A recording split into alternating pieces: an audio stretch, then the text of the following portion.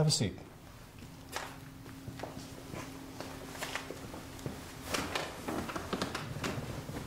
I've only got 30 minutes. That's enough. And how can I help you? It's dark in here. I prefer it this way.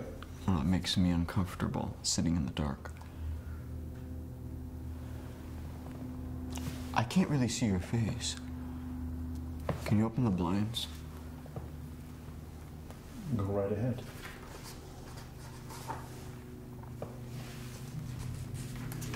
I can't get to the windows, they're too high up.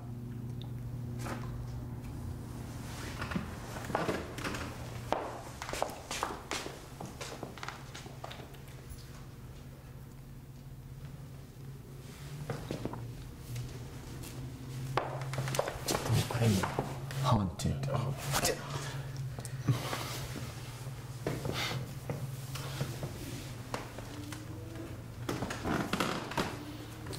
Very well. Who's haunting you? My wife?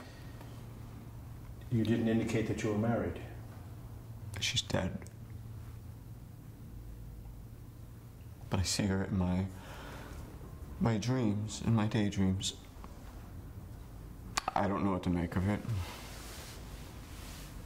Can you describe the dream? Well, I see a dark figure in red staring at me. She stands far away next to a balcony. The more I look, the closer she gets. If it's a dark figure, how do you know that it's your wife? I know. People tend to place loved ones in their dreams, and it's normal for you to feel as if you can't let go. Or maybe she can't let go. Jesus Christ. I don't think I can help you. I didn't do this to myself.